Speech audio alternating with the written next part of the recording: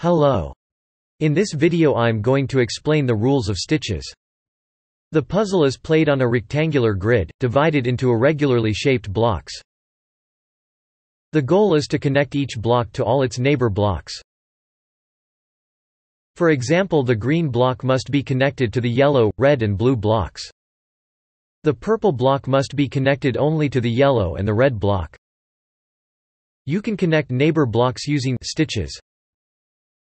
A stitch connects adjacent cells horizontally, or vertically. In the basic variant you have to use exactly one stitch to connect two blocks.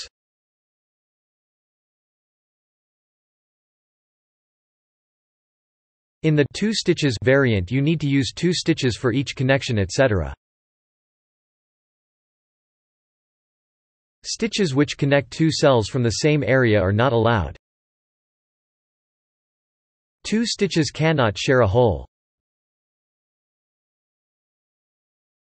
This is what a solved puzzle looks like. The numbers on the side indicate how many holes are there on the row.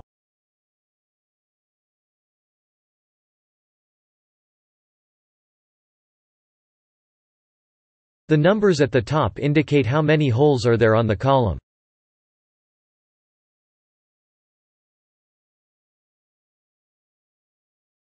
These are the rules of stitches. In the next video I will show you how to solve an easy stitches puzzle.